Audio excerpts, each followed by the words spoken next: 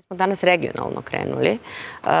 Rekla bih da su nam regionalno samo geografski, ali teme vrlo slične i evo dozvolit ćete da e, spontanost je bar bila deo onoga što Boško i ja radimo. Dakle, stigao nam je, posle ću da kažem i prijatelj redakcije, Vladimir Pavićević u studiju. Dobar dan i dobro nam došli. Je li ja već ovaj, da se uključim? Već, već. Evo, e, izvolite. Zdravo. Dobar dan i dobrodošli. Kako je? Ej, pa da vam kažem, da prođe ovaj maj. I Crna Gora. I, pa, očekuju mnogi. Kako ste došli? Ja sam došao autom, išao sam... Kojim? Majbahom? Ne, ne, ne. Majbah je sada u posjedu Agencije za nacionalnu bezbjednost Crne Gore i služi e, za goste sa strane koji dođu. Dakle, sada se gosti voze onim Milovim i Duškovim majbasima. Znači, dva. Dva imate. Da, dva su bili. A ja sam sada došao svojim autom. Ova, išao sam prvo u Osečinu. Osečinu? Otko tamo? Tamo imaju svake godine eh, jedno ovako feštu, da kažem. Dobro koja podrazumijeva da se okupljaju biciklisti koji voze ove planinske biciklističke ture.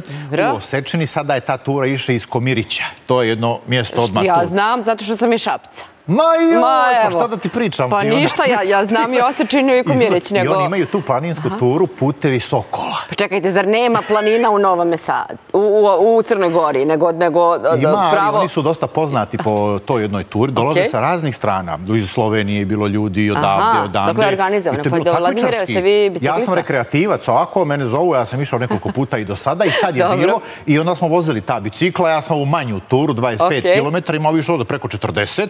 I onda takmičenje. Tu je, na primjer, bio prvak Srbije. Ovaj jedan momak iz Priboja, znaš, i on je tu bio, reka neki rekord postavi, tako, tako da je stvarno bila fešta neka velika, tako sam bio tamo. Pa to bio povod? To bio razlog za dolazak? Ne, ne, ne, ne, uvijek ima više. Aha, aha, dobro, uvijek postoji još neki uz. Ovo je bilo nešto čime je počelo. I to je bilo dobro, baš je dobro bilo. Kažem, neko veselje je bilo tamo, ljudi ostanu čitavi dan, Prema se tu onda pasulj, pod šator se stane, onda se jede priča, prave se neki planovi kada je sljedeća tura. Onda Osečina je naravno poznata po šljivama, ima i sajam šljiva i svega. Tako je strašno zanimljivo mjesto. ja se potpuno slažem i sad sam potpuno iznenađena. A, e, slušam kolegu, zato sam rekla Novi Sad, zbunila sam se. E, imamo uskoro još jedno uključenje i nešto što je baš jako važno kada je Srbije u pitanju i kada su verska osjećanja u pitanju. E, srpski ostrog. Tuma, ne ste bili? Kako da ne? Ja Stvarno? Sam bio tamo, naravno. Ja sam dosta obišao, čini mi se, u Srbiji, Crnoj Gori, pa u regionu. Ja mislim da znam sve ove teritorije do u kamen. Gdje je šta? U Tumane, naravno. Tamo je to mjesto i taj manastir privlači veliki broj gostiju sa raznih strana. Onda vidim da ljudi dolaze, ima dosjedna priča i o čudotvorcu, vezuje se za neka čuda, veliki broj vjernika dolazi. Ljudi nekada dolaze da vide, dive se na primjer u arhitektonskom smislu, nečemu što je tamo napravljeno. Onda razni ljudi dolaze iz različitih razloga, najveći broj naravno iz vjerskih razloga. Onda vidio sam tamo da su oni to sve i prilagodili tim gostima. Ti tamo dođeš, ima ogromni parking, smjestiš, nema ono gdje ću, šta ću, kako ću. Onda ugostite, dođu ovi velikodostojnici, tamo iguman. Ja sam bio dva puta. I oba puta smo popričali, ovako je najzanimljivih priča. I ko tu sve ne dolazi, znaš, i zanimljive neke ličnosti. Ja, šta ima od zanimljivih priča? To, to je pa i to ja savjetujem ljudima da pođu tamo, jer pazi, to nije samo ajde da se ode u tumane, to samo za sebe može da bude zanimljivo ljudima sigurno i korisno ovako i da vide, da obiđu, da popričaju. Mnogi ljudi imaju tamo i svoga duhovnika, na primjer, ja sam pričao sa nekim od tih ljudi, ali ne samo to, nego je tu odmah i Donji Milanovac, tu je onda Dunav, to je onda ulazak u Đerdap, to je zato što je to, u Klisuru, tako da je čitav taj kraj ovako zanimljiv da čovjek ode da izvoji ne jedan dan, pa ode na obdan, pa se vrati, nego dva, tri, četiri dana za sve obiđe. Da kažem, na svaku temu. Hvala puno. Idemo kratko u Tuman, jel može? Ajde.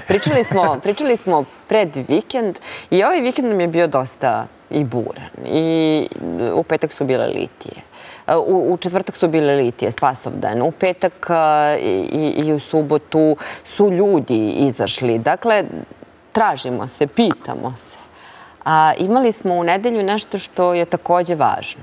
I imali smo mnogo više od onoga što smo očekivali. Imali smo fantastičnog sagovornika, nekog ko je pričao iz manastira Tumane, a zapravo jako dobro poznaje duh ovog vremena. Tako da bih voljela da ukoliko imamo na vezi, uključimo uh, jeromonaha Teofila Radovića. Dobar dan. Drugi put. Dobar dan, dobar dan. Pozdrav svima, pomoži Bog.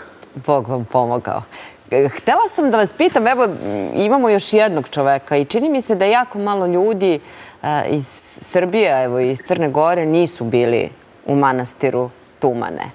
Neki iz muke, neki iz ljubavi, neki iz radoznalosti, ali čini se da napravili smo i paralelu, jer gospodin Vladimir Plavićević iz Crne Gore kažu da je e, manastir Tumane srpski ostrok. Šta vi kažete na to? Pa sad kad sam se uključio, čuo sam delom ovaj, e, pozitivne utiske i e, čovjek je stvarno osjetio e, duh svetinje, to je duh tumana.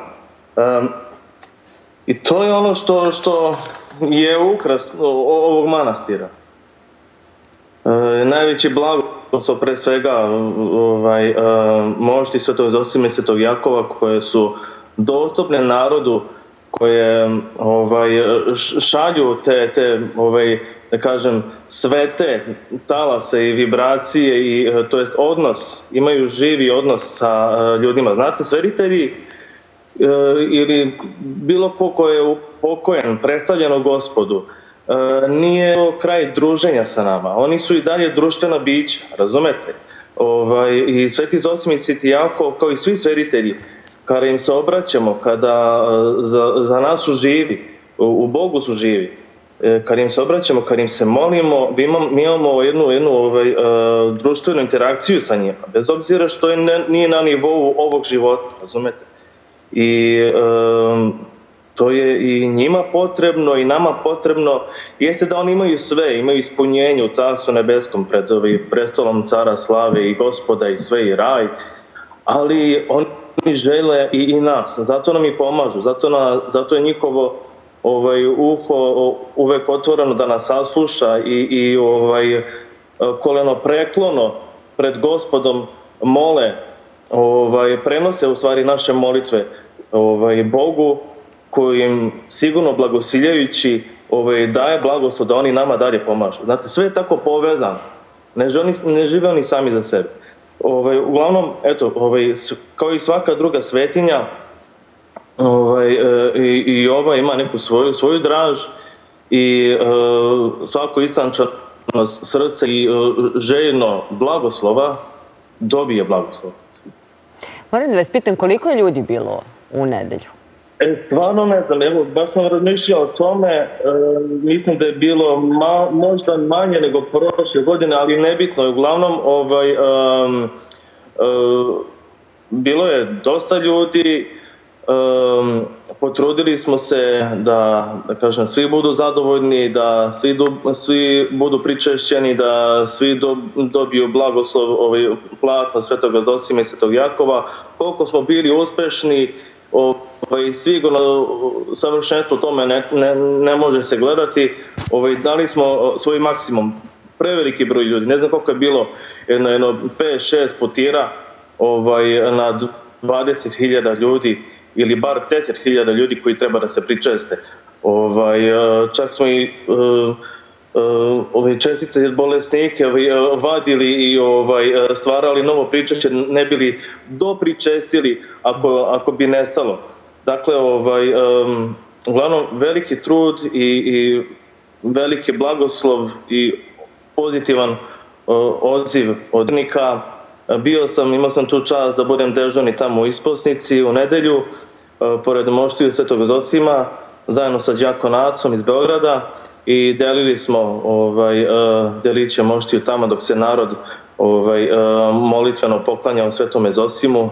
Neki su prilazali prilazili uplakani neki nasmejani radosni uh, sa decom, čak i padala kiša pa smo malo i kisnuli i tu smo osjećali neki podvig dodatni i zadovoljstvo pri tom trpljenju i na kraju ovaj blagoslov koje nak dobijamo. E, eto, lepo je i kad čovek dođe tu i ne očekujući ništa, To sam htjela da vas pitam. bude nagrađen na kraju pun. To sam htjela upravo da vas pitam. Evo i Vladimir Pavićević je rekao da zapravo je čuo e, razgovarajući sa monasima iz manastira, da je čuo neke zanimljive priče. Ljudi verovatno sa posebnim očekivanjima, jedan deo ljudi dolazi od Tumane. Dolazi sa potrebom da se desi neko čudo. Da, naravno. uzrok vere i sve je to normalno. Ovaj, nekako ja sam navio taj primjer kao savršeni. Da ovaj, dolazimo pred, pred e, Zosimom i Jakovom koji su posvjedočili Hrista, koji su svjedoci vaskrsenja Hristovog, e, predajući se njima na volju. Mi možemo da tražimo šta god želimo i šta god ovaj, eto, smatramo da nam fali. Mnogo puta i grešimo u tome što, što tražimo, ne znajući u stvari ovaj, e, šta je to što nam zaista treba, što se kaže, prvo ištite carstvo nebesko, a sve će se ostalo pridodati. I to je nama čudo, kako da tražimo samo carstvo nebesko, šta to znači? Ovaj, šta će nam se pridodati, kada, kada će biti bolje, to pitaju ljudi. Ne možemo više da zdržimo kada će biti bolje. Mhm. Ne, ovaj, mm Najvici su snaga. Mhm. I tad najviše treba pokazati ovaj, uh, to je zadnji ispit je najteži ispit. I tad ovaj, uh, treba ostati pri, pri tom putu i imati hvala Bogu dobre i sveštenike i monake koje ćete ovaj, um, poneti da izdržiš taj, taj, taj zadnji put, ne bi li na kraju gospod i dao svoj blagoslov vidjevši da ne odustaješ. Eto, a na, na kraju ljudi dobijaju blagoslov koji prilaze sa verom. Vi ste svesni da je teško? I svesni ste koliko verovatno ljudi dolaze sa problemima. Pretpostavljam da je zdravlje. Čovek kad izgubi zdravlje, onda mu ništa drugo i ne fali. Da, i sloga. Dolaze mnogo roditelji kojima su kući, e, deca koje ne pričaju sa roditeljima ili obratno. Ovaj, nesloga je za mene broj jedan e, problem. Neka smo svi, da smo složni, to je već raj, razumete? E, I neki ljudi imaju sve, i novac, i um, zdravlje, i prijatelje, ali su sami, ili su ti prijatelji lažni zbog njihovog bogatstva, u stvari nemaju nikog ili je nesloga i samo se valjuju u nekom svom luksuzu koji će njih na kraju da izgleda. Tako da sloge pre svega i spremnost da se daje. Da se daje. Da. Ono što mi je prošli put bio utisak, to je da dobro poznajete duh vremena i evo sad ste me zatekli. Zaista sam mislila da ljudi dolaze najviše po zdravlje, a zapravo kad malo šire sagledam situaciju i kad vidim u kakvim vremenima živimo i kad pogledamo ceo ovaj maj i sve šta se dešava, kako biste nam vi sad dali reči utehe? Kako vi gledate na celu situaciju? Pa, ne znam, ja nisam bio baš u prilici, ja sada puno tu oko toga filozofiram, kad postoje više stance koje, trima, mhm. koji trebaju time da se bave. Što se mene tiče, ovaj, e, sve što pročitamo u Evanđelju, što nas crkva uči i što sama ličnost Hristova nama ostavlja u, u amanet, duhovnog i odnosa prema sebi prema bližnjima koji su pali i tako dalje. Sve imamo u svetom pismu zapisano kako treba uh, reagovati šta treba raditi. Na, na, poče, na im sam sebe potrebunje. Mm -hmm. Prevashodna je molitva i da mi kao kršteni hrišćani, u ovom slučaju pravoslavni, da držimo naš put crkve i, i liturgije. To da bude naš, naš glav, naše glavno saborno mesto. Jel, mogu sad da budem radoznala i da vas pitam nešto lično za kraj ovog razgovora? Ajde da če. Ja sam nedavno došla do jedne knjige koju je napisao Arsenije Jovanović i ona kaže Bog i rock'n'roll. A s druge strane, ono što meni prija u razgovoru sa vama, to je što poznajete duh vremena i e, što razumete gde živimo i kakvi smo danas i kako izgleda danas. Vi ste jedan od monaha sa onog viralnog snimka gde se sviraju akustične gitare. Ako sam dobro informisana, vi ste dobili blagoslov igumana Dimitrija da zadržite i negujete svoju ljubav prema rock'n'rollu. Ako se nađe vremena, da. Ako se nađe vremena. Pa naravno, da. Znači, muzika je ljubav. E, ovaj, život u veri e, i u pravoslavlju znači odricanje nekih stvari. Aha. Ali ne znači i... Ima i presecanje nekih stvari.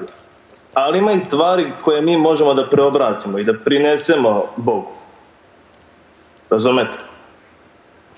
Tako da ja nisam za to ovaj, presecanje. E, ima stvari koje, koje su daleko od Boga što se tiče umetnosti i muzike i bilo kog izražavanja ljudskog bića koje, koje je palo.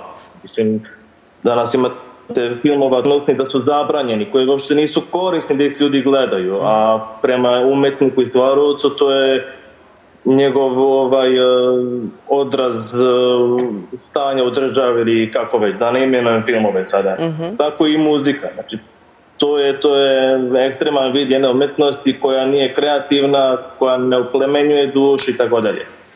Za mene umetnost ono što uplemenjuje dušu i što potiče na dalju kreaciju i na, i na, i na radost i na življenje. Eh. Mnogo vam hvala. Hvala na vremenu, hvala na strpljenju. Znam koliko je nezgodno bez slušalica kada imate eho i imate i, i puno strpljenja, ali e, s druge strane i fantastičnu koncentraciju. E, vidimo se, nadam se, i, i kod vas u manastiru Tumane. Pozdrav za sve i eto, samo radosno i ne gubite vaskrslog gospoda ovaj, i, i svog uma i svog života. Hvala I na njega se uzdamo jer će on jedini sve na kraju poravnati. Hvala vam puno. Veliki pozdrav. Živeli, svako dobro. E, nastavljamo dalje i mnogo hvala na, na strpljenju. Ma, tako da, mam pozdrav. Ja sam se sad sjetio. Mm -hmm. I, na primjer, paroha našega u Crničkoj nahiji. Mhm. Crnička nahija je mjesto gdje ja živim u Crnoj Gori, -hmm. sjedište Virpazar. Dobro. To je jedno četiri one najstarije nahije čuvene Crnogorske i naš paroh je tamo otac Krsto. Pa onda imamo jedan manastir Brčeli. To je jedan veoma lijep manastir. Ja pozivam i vas i građane Srbije kada idu ka moru da svrati u manastir Brčeli u Crnici. Tu imamo igumana Nikona. I naravno, ja bih sad pozdravio i sve članove crkvene opštine Sotoniđe, čiji sam ja član. to je mjesto gdje ja tamo živim. Inače, taj manastir Brčeli, koji je meni ovako najbliži, za njega postoji priča. Nastala jedna priča vremenom da je tu bio, pa da je i dalje e, grob cara, laznog čara Šćepana Malog on je ovako istorijski čuven, onda imamo i drame koje su pisane o tome, tako da ima mnogo razloga, naravno prvenstveno vjerskih, ali i ovih drugih da se obiđu, na primjer, i ovi manastiri u Crničkom kraju. Inače, kada smo već kod ove teme, sad ne znam da li slušam, ne, ne, pa tu smo prijatelji. Crkveni velikodostojnici uh, u tom kraju Crne Gore, inače u Crnoj Gori, su strašno povezani sa velikodostojnicima ovih metohijskih manastira. To sam htjela da pitam. Dečana, Peći, i to, to je stalna cirkulacija. Znači, ide se tamo, evo ja, koliko sam ja samo bio Dečane. Stvarno? Na konak da se priča, tu je otac Sava, pa otac Petar koji je gostoprimac. Znate li kakva je to jedna srdačnost, jedno gostoprimstvo, jedna otvorenost za stalnu razmjenu informacija, komunikacija, dolaske, obilaske, priče, ovako fantastično. Šta mislite, Vladimira, kako li je danas tamo? Noć je, noć je prošla, prošlo mirno, ali... Puno je razloga za brigu. Pa, metohijska ova strana sada, ona je u nekakvim drugačijim okolnostima, a imamo sada ove dešave na sjeveru Kosova. I nema sada tu dileme za svako ako realno sagledava stvari. Da je jedan dio prištinskih institucija prosto djelovao posljednjih nekoliko dana tako da se proba isprovocirati neka vrsta nasilja. Osuda Toga je došlo sa svih strana. Pa evo, podpredsjednik vlade Crne Gore Joković osudio je to. Evo, gledamo odavde, gledamo Amerikanci, Evropljani, svi to osuđuju. Dakle, jasno je o čemu se tu radi. Šta sad... Ali kako da vam kaže, ali mi na to gledamo...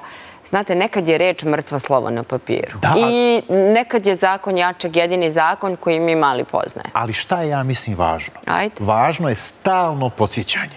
Na? Prvo, na dijalog stalno podsjećanje na dijalog, stalno podsjećanje da otpor jeste poželjan, naravno u nekim okolnostima, ali da taj otpor najčešće, najbolji rezultat da ako je nenasilan, ako je takav civilizovan, dobar, vezan za jedan pravedni cilj i ja bih i u ovim okolnostima insistirao na tome, jer je to put za izlazak iz ove situacije, to je 100%.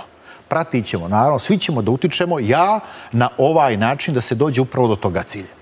Ja sam dosta provao vremena na sjeveru Kosova, ja sam mjesta u Kosovske Mitrovice, gore do Lepozavića, Leška i tako dalje. Šta ste radili tamo? Ma išao sam ovako, nekada obilazim neke ljude koje znam, nekada imali smo neku edukaciju, neko zove, na primjer, bili ti sada održiš predavanje, pa ja sam bio.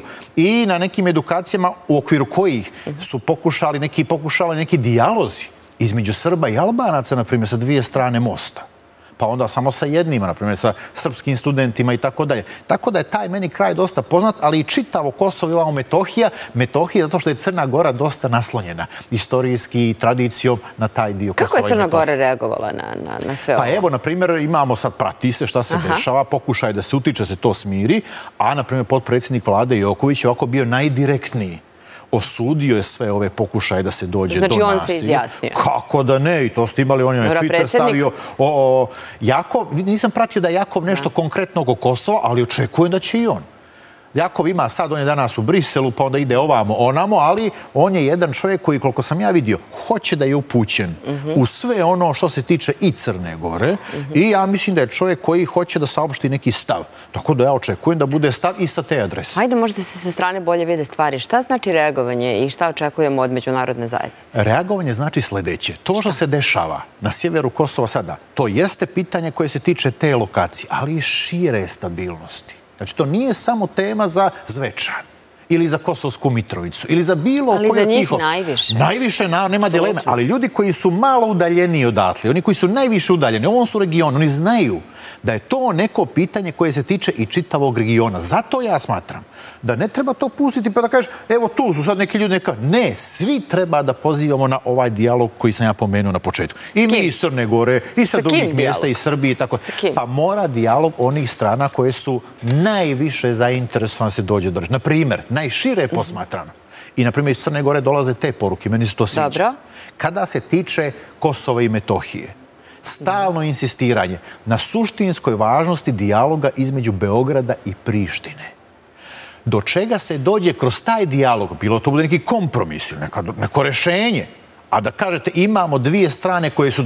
To je ovo je sad teorija, a praksa? I praksa, jer taj dijalog teče koliko vremena. Pa. On teče, teče, teče, ali ja ovako kažem, pa ako treba teče 30 godina... Je li moguće da je samo Ulja Kurtija bez podrške ovih koji su sada osudili? Ja, znate, ako sam ja evidentirao, na primjer, oko Crne Gore djelovanje ovoga gospodina Kurtija. On je, na primjer, tamo uoči izbora kad su bili. Evo, na primjer, su predsjednički izbori. Znate li vi šta je on rekao? Ne. On se Baltani uključio tamo u kampanju i rekao ako Milo Đukanović izgubi, nestaće crnogorski narod. Zamislite to? Šta će nestati? Čekaj čovječe. A on inače ima svoje porijeklo u Crnoj Gori, tamo jedan kraj od Ulcinja ka granici. Mm. Tako da on bi trebalo čovjek da je malo upućen u to šta je Crna Gora šire od tog mm. njegovog kraja. Kao što sam ja upućen u sve ono šta je Crna Gora, šta je njeno, njena šarenolikost, da kažemo. Mm. I on kaže, ako izgubi Milo, pa evo izgubi Milo i šta je bilo za crnogorski, ali ne su to crnogorski. Svote, vi imate neke izjave koje su neracionalne. Ja mogu da razumijem da radi nekih političkih zamišljenih ciljeva postoje i neki koraci, direktni potezi koji su također neracionalni. Ovo je za mene, ovaj i njegovi koraci potezi su neracionalni i nisu dobri.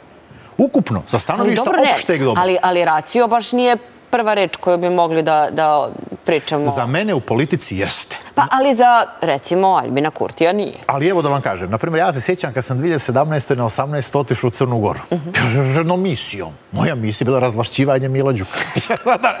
Kako sam mislila da, da nećemo danas ja o tome. Ja znam ovdje kad sam popričao sa nekim, neka, ma šta ti kaže da okay. razvlaštiš Mila Đukanovića, ma šta ideš tamo, šta ćeš Aha. tamo, Milo, tamo za uvijek. Tako mislilo. Međutim, Šta je obezbijedilo da Milo, evo, posle četiri, pet godina, mm. ipak bude u potpunosti razlažen? Mm -hmm. Upravo, ja mislim, ta racionalnost, prije svega u analitici, mm -hmm. a onda u konkretnim, praktičnim političkim koracima. Kada vi to sve saberete, ja mislim da je uspije garantovan. Tako da racionalnost u politici je, ja mislim, preduslov pa za Dobro, postizanje da. najvećih dostignuća. Ali ako pričamo o, ako ne pričamo o Milu Đukanoviću, već o Kurtiju, ne bi mogli Dobro, da stavimo... Dobro, njih dvojica su imali Dobro razumijevaj. Jasno, to, to, evo i sad smo to pocrtali. Pa kaže, ako Milo izgubi, pa čekaj, kako ti može, ja ovako razumijem, pa kako ti uopšte možda vežeš sudbinu jednog naroda, jednog čovjeka, shvataš? Znaš, da, to znači da je Malta, za njega je znači, Crna Gora, one man show država, narod je isto one man show narod, znači ako je Milo, onda je taj narod, ako nije, onda nema ni narod, pa če, znate vi koliko je to, koliko to nije racionalno. Ja onda tu vidim neke defekte. I ja zato reagujem i uvijek utičem koliko ja mogu. Neka je to malo manje, neka malo više, ovako zavisi od okolnosti, da se vratimo na taj racionalni put. Ovdje strpljenje, dijalog, nenasilni otpor. To je garantovano. Dobro. Ko, ko može da utiče na Kurtija? Utiče pa. Dobro, znaš šta, često se govori ovdje da je ta međunarodna determinanta za naše Gion možda i najvažnija. Mhm. I ona kada se tiče tog rešavanja kosovskog pitanja i jeste. Veoma, veoma važna i sigurno je najvažnija. Ali ja bih insistirao i na tim internim snagama. Pod internim snagama ja podrazumijevam one aktere koji su najdirektnije zainteresovane za taj slučaj rešavanja kosovsko-metohijskog pitanja. Koje su to adrese? Beograd i Priština. I ja bih i međunarodnim adresama stalno upućivao to podsjećanje. Čekajte, šta god da ima, šta god da se uradi, hajde da se vratimo ono što je suština. I uvijek se vraćajmo suštini, u svemu. A suština je dijalog između ta dva aktera koji treba da dovede do nečega. Ako treba vremena za dijalog, dajmo vremena. Što ima veze? Da će traje mjesec, godinu, tri, neka traje samo da se dijalogom dođe Znači, ja sam za to. Zato uvijek ustaje dijalog. Ja vezujem i Iako I uz to možemo da možemo smo pričali, i racionalnost u djelovanju, pa to je onda fantastično. Teška je situacija, to je baš jedno ovako pitanje koje je možda najteže u ovom regionu. Često govore, na primjer, evo Bosna i Hercegovina ima isto jednu svoju kompleksnost internu. I onda sam često slušao, još šta je komplikovaniji slučaj? Da li je taj Kosovski ili je Bosna kao takva kompleksna struktura? I onda se izdvaja Kosovo, ipak i Metohija kao jedan možda najteži slučaj. Ako je to najteži, onda moramo još dvostruko više i i dijaloga, i racionalnosti. Stalno bih ja posjećao na to. Dvostruko više za one koji žive dole. To I za sve dakle, nas koji možemo da, da. pošaljemo neku poruku. Ovo je nekakva prilika da se pošalje poruka. Ako može se utiče još direktni, naravno. Ajde da, da, da se vratimo i na ono što je bila teme dana i nekako je to sad stvarno taj, taj, ta dva Majbah. da, u Crnoj Gori Majbah. Ne znam koliko ljudi su pratili Majbah u Crnoj Gori. Znaš šta je sad? U Beogradu je to, ja mislim da je ovog vikenda... Ova dva Majbaha, što su vozili Milo. Ja sam jedan videla, ali nisam pažljivo gledala nešto. Muž mi je pokazivao, gle bre, ovo Tito. Ove, pa tako da, da, to je izgleda dobar politički i marketinški potez predsjednika. Pa, prvo ta dva automobila koja koštaju svaki pojedinačno po preko pola miliona evra. Mhm. Ta dva automobila su predata, dakle, Agenciji za nacionalnu bezbjednost. Mhm i agencije za nacionalnu bezbednost, to je nešto što je u Srbiji, na primjer, bija bi bila. Mhm. I onda ta agencija za nacionalnu bezbednost koristi te automobile i najčešće, to je sada namjena, je ako dođe neki gost iz inostranstva i onda ga smijeste u jedan ovako luksuzni automobil. Znači, kad dođu diplomate iz inostranstva, oni se voze u ta dva Majbaha. To je sada ideja. Ranije ta dva Majbaha su koristili Milo Đukanović i Duško Marković kao prvi i drugi čovjek DPS-a, odnosno predsjednik i predsjednik vlade, predsjednik državi i predsjednik. I onda se vidjelo po tom njihovom odnosu, e, sad njih dvojica mora da imaju Majbahije, znaš šta je? A sad, imamo drugu situaciju, da Jako Jakov Milatović kao novi predsjednik rekao, pa ja, meni ne treba Majbah. Pa to, meni se, da, meni, meni se to fantastično. Pa to je ovaj, dobro. To, to, je, to je dobar marketinški potez. Dobar je, ali ja mislim da odražava malo i pristup načelni Jakova Milatovića pa politici i on kaže, pa čekaj, ja imam... Ja neću tako, ja ću drugačije. Drugačije plus, ne vozi se on automobilom koji je nebezbjedan. Ili koji je manje bezbjedan od on se vozi isto automobilom koji je bezbjedan, koji mhm. treba da se vozi predsjednik države, a ne mora se voziti tim Majbahom. Ja znam da su ti Majbasi bili oko oglašeni za prodaju, ali nije niko to htio da kupi. Da je to onda i silom prilika ostalo sada kao vozni Ko park. Ko nije da kupi? Nije, nije bilo kupca, to je veliki je to novac. Onda ipak da kažemo to je voženo. Nisam ja sigurna. Ja, ja, ja, ja bi mogla da ga zamislim u nekim delovima Beograda. Pa ne, ne, ne, može, može, ali sad zašto nije kupljeno, da ne ulazim. Ali nije, to je fakt. Ovo sad neki tak, ajde, prodamo, nije, to niko se ne da kupi, dobro, ajde, neka se onda voze državnici koji dođu u pozitu Zrno Gori. Meni je, na primjer, to okej namjena. I ja mislim da svako, i novi predsjednik vlade koji bude posle izbora 11. Možete vam bude i turistička atrakcija, sad je da sezona, pa da se ovi obilazi. Ali slušaj, nije, da, da, šala, da. Ali slušaj, mogu da kažem jednu stvar za Crnu Goru koja, mislim, oko može da iznenadi ljude.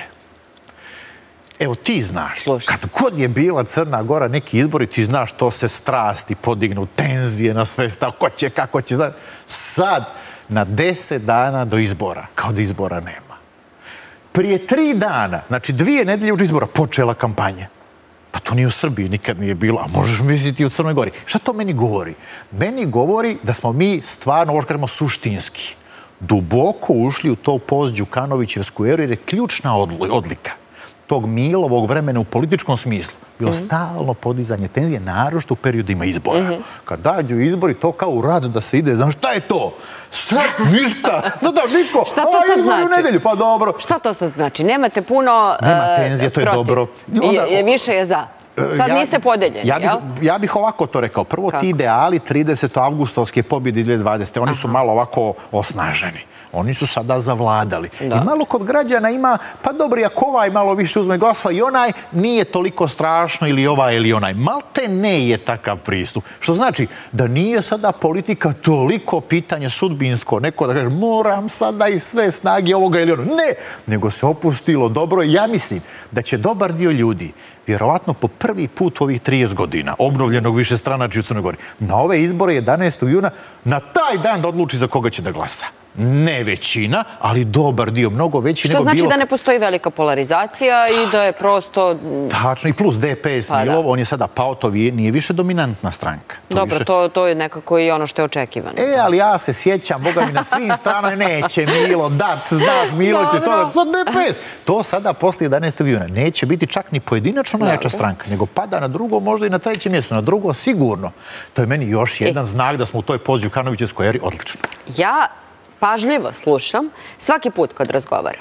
I ostala je jedna rečenica i sad moram da kažem, pričala sam, Boško i ja smo imali priliku da razgovaramo sa Bojanom Klačarom iz Cesida. Onda smo pitali zašto je kod nas burno, velika strasta, mala izlaznost. Jer se sećam da kad smo pričali posle izbora, da ste rekli, dakle, u Crnoj Gori to 80, 90, to se kuća sređuje i da ovo što je kod nas rezultat, da je to ona za vas hladna voda.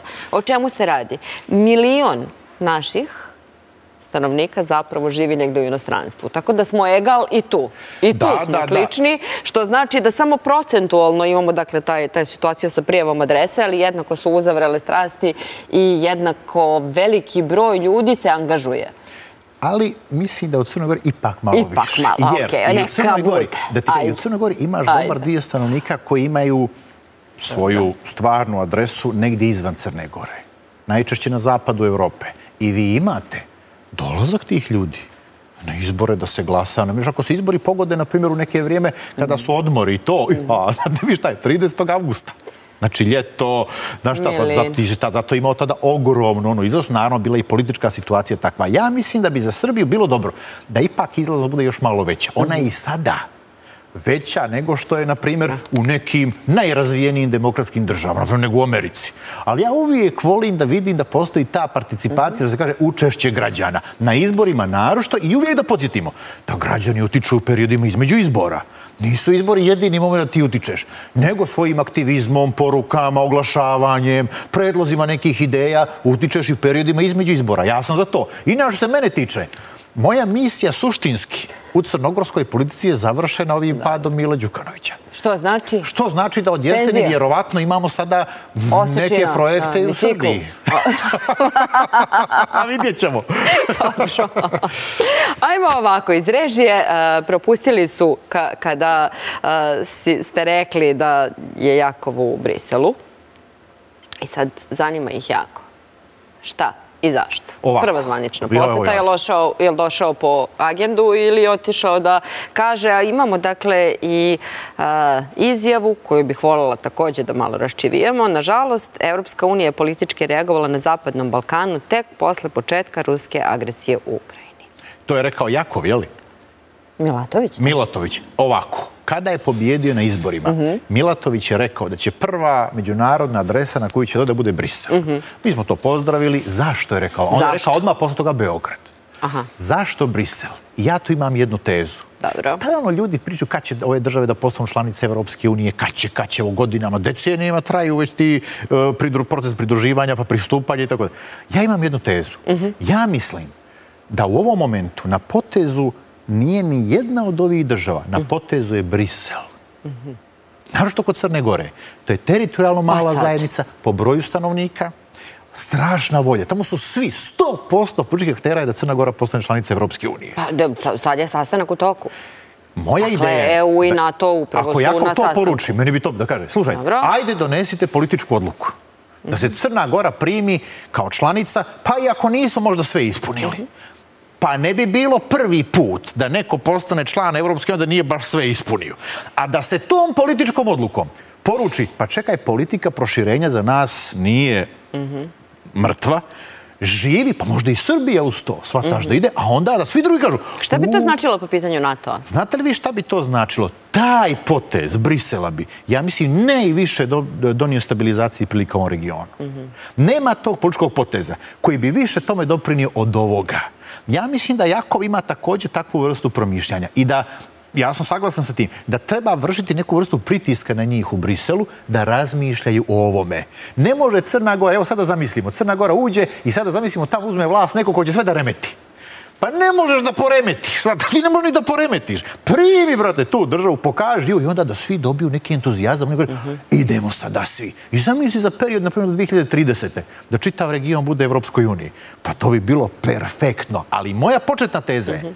do Brisela je da napravi taj jedan potez koji će ljudima da obezbijedi jednu misao koja se veze za entuzijazam, volju, da kaže ajmo onda sad i mi. Što znači da bi ono o čemu smo pričali, a što se opet tiče nas, a i tiče se prvog dela razgovora, što znači da bi politika Crne Gore kada je Kosovo u pitanju?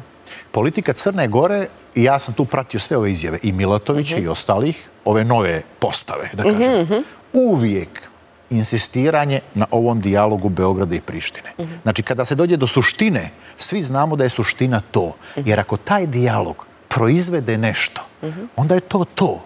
Onda nema više, nema prepreka, nema defekta u tom rešenju. I ajde onda da se svi potrudimo, da obezbijedimo da taj dijalog radi. Ja sam zato, mislim da i Milatović je zato. Evo, sad kad bi ti ga pitali, da on dođe. Jako vezuli ti? Ja mi rekao, naravno, naravno. Dobro, sad ide, pa ide u Moldavi, ovam, onamo, vidjet ćemo. Dobro. Ono što, još jedno pitanje pa da, da, da nekako suzimo i, i taj deo, ali mislim da je suštinski važno. Kažu da je e, postavio pitanje rasvetljavanja uh, ubistva Jovanović, glavnog Kako je Duška Jovanara? Dakle, to je u pitanju politička pozadina, sumnje se. O, to, to je opšte mnjenje uh -huh. u Crnoj Gori. Dakle, Duško Jovanović je bio jedan od najpoznatijih, uh -huh. najangažovanijih novinara u Crnoj Gori u to doba kada se desio taj zločin. Mhm. I za sve to vrijeme, to su sada godine i godine, nije se desilo ništa što bi rasvijetlilo kompletnu pozadinu ubijstva Duška Jovanovića. Pošto je ovih dana bilo obilježavanje godišnjice od toga ubijstva, onda je to naročito izazvalo pažnju i političara i novinara. I ja mislim da, s obzirom da imamo nove uslove u Crnoj Gori, da imamo i reformisano tužilaštvo, potpuno sada nezavisno. I evo sad to pokazuju ankete građana. Na primjer... Na kom mjestu je ko? To me baš zanima. Pazite, Srpska pravoslavna crkva tradicionalno, broj jedan, njoj se vija, a sada na drugom mjestu tužilaštvo. Znate što je kakav je to skok? Ma da, tužilaštvo... Pa tako i treba da bude. Pa bravo, to je to.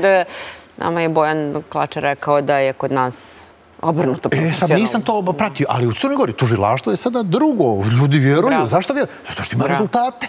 I ja očekujem da će u neko vrijeme brzo, ne sada na srednji rok, nego na kratki rok, da se rasvijetle ta ključna ubijstva. Nije to samo Duško Jovanović. Mislim i da je to jedno, to bi bilo ogromno.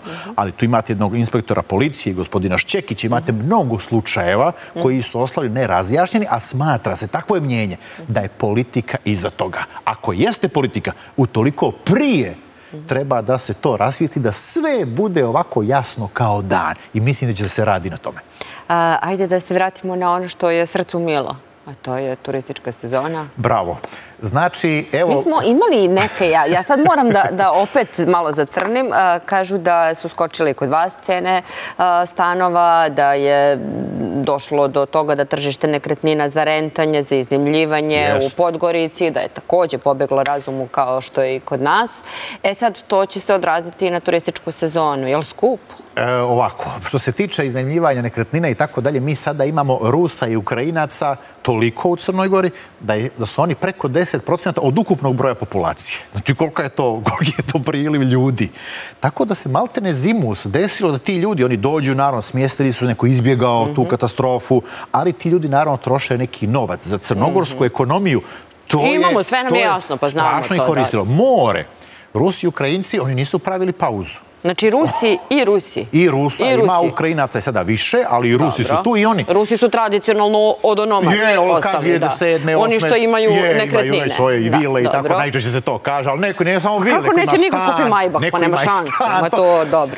Ima neko i stan. Se kupi decembar, januar, februar, ne svi, ali poneki. Pa dobro, da, imaju drugačiju termoregulaciju. Ja plivam u Jadran, evo mjesec dana. Već mjesec dana. Sad je temperatura mora, već 21 stepen. To svako može. Pa na koje ste vi temperaturi kupati? Ja sam plivao, ja sam počeo plivati ne 18-19. To je malo teže ovako, znaš. Sljedeće godine za Bogojavljanski krst pa se vidimo negde u januaru. Da, da. E, ali sad, Sad je idealni su uslovi. Temperatura vazduha idealna, temperatura mora idealna. Nije na, znači nema sada gužvi da je masovno sada nekakva navala, tako da ko ima priliku ovih sedmica da ide ka Crnoj Gori, dobro došao, onda naravno jun, jul, avgust, septembar, pa i oktobar. Tamo se već pliva ovako do početka novembra. Ok, je li skupo? Pa dobro, ja mislim ja da je to slično. Slično je. Naprimjer, kao prošle godine ili kao u Beogradu? Kao u Beogradu. Pa Beograd je preskup. Pa dosta je skočio, jeste, ja to sada vidim Pa znači i dole je preskupo. Ali Osečina, na primjer, malo je, malo, je, malo je to povoljnije. Evo sad sam ja bio. Biciklom u Osečinu. ba, da, da, i okay. okay. tim jezi, Beograd je stvarno ovako sko. I sad kada do Crnu Goru, I tako je u Crnoj Gori, slično, tako je u Budvi. Slično, da, da, da, možda bude malo, malo jače. Dobro, nisam sigurna da je to baš odgovor koji smo želeli Dobro, ali znate kako, što se tiče ljudi iz Srbije, vi znate kakva je to isprepletenost. Mnogi ljudi koji su ovdje u Srbiji imaju svoju familiju u Crnoj Gori, prijatelje, neko ima nekretnine, tako da nađe se uvijek način da to na kraju ispadne povoljnije od onoga što je bilo za neko ako baš onako, evo idem sad u Crnu Goru pa da vidim kako je. Ne. Sve svoje sobom nosi. Nađe se to i onda bude povoljnije. Dobro, dobro. Uh, uskoro bi trebalo da, da idemo i u Pariz. E sad, nas dvoje ovako, a neki su na Roland Garrosu. I pitanje svih pitanja je opet Novak i ono što je napisao Kosovo. Pa dobro, ja to, meni je to, ja to pozdravljam. Jer, ne, pazi, kod ljudi, on je sportista. Ima neke sentimente koji se tiču sada i nekog kraja za kojom vezuje svoje porijeklo i tako dalje. I on je poslao jednu poruku oko, ja mislim, jednu koja tiče njegovih sentimenta, oko nečega, okej. Tako da svaka čast. Pa dobro, imali smo i, i, i Milorada Čavića, imali smo i neke druge i drugačije aršine. Pa dobro, ali Tako da sentimenti mogu da podležu i, ali i malo nekim... Ali malo i odvar, on je sam rekao, pa dobro, možda ovo sad neko ocjeni kao ipak da će da me kazni, pa neka me kazni. Ja mene to podsjeća na nekakav koncept građanske ovaj, hrabrosti, Aha. koji vezujem uvijek za građansku neposlušnost, koji kaže, jedna, jedna stvar... Jao, hrabrost i neposlušnost u jednoj reči. Ali šta je to u meni? Pa jedna dobro. stvar koja uvijek se kaže, ako ideš u takvu vrstu nekog otpora, pa ti moraš da prihvatiš i neke posledice. Naprimjer, ako uradiš nešto, a neko je, pa čeka, ovo si sada moraš da plati, plati. I to ne da te neko tjera, nego ti sam treba da pogledaj. Evo, odmah da plaćam, da me niko ne opominje, treba platiti. Znaš, to je dio tog pristupa. Tako da ovo što je uradio Đoković, u sportskom smislu, naravno, svi navijamo za njega, on je vele majstor toga sporta, vrhunski tenister, ja znam u Goru kako je Đoko je oduševljenje. Ali u smislu nekog sentimenta... I venče se dole kod vas. Jeste, na Svetom Stefanu je to bilo. Meni je ovo sve u redu i nema šta, samo podrška. Aha, i očekujete? Pa ja se nadam da će on da uzme taj Roland Garros, da će da po, te rekorde dalje da nastavlja da, okay. da, naniza, na, da ih naniže do kraja. Tako da stvarno u svakom smislu, koju god statistiku da uzmeš, da kažeš, vidi, Đoković je najbolji teniser svih vremena. Ja navijam za to. Ok. A, ništa. 13 časova, 14 minuta. Idemo još malo u Pariz. Posle se spremamo za, za Crnu Goru. Kao i uvek, fantastičan sagovornik. Koliko ste u Beogradu? Popodne ja već idem dalje. Ostajem u Srbiji, Aha. ali Gde neću sad? biti u Beogradu. Pa idem sad na Zlatar. Zlata. Da, da, da, da, da, ima isto jedno okupljanje, znaš. U, u, u, svi, znaš. Kad porastim, bit ću uh, Vladimir Pavićević, do tada mogu samo da pokušavam i da učim od najboljih. Da, tako je sad, takve su okolnosti. Tako je zapalo, pa dobro, završilo se ono šta, šta je trebalo i pa, sad malo uživanje, jel? Znaš šta, i sad jedan čovjek mi je rekao sada u osjećini, kaže, rekao mu i otac. Mhm. Kaže, moj otac mi je stalno govorio, u svakom mjestu u svojoj državi moraš da imaš po jednu kuću. Ono, I kaže on, ta kuća je zapravo ljudi koje poznaješ, prijatelji koje imaš. Ja stvarno se osjećam oko kod je sad i osjećam sad na zlato, to su sve ljudi koje ja znam. Tako da stvarno se osjećam dobro i osjećam se kao da sam kod svoje kuće ili imam neku kuću tamo. Tako da evo jedno čekam da idem do Zlatara večeras. Zlatar, gastronomija.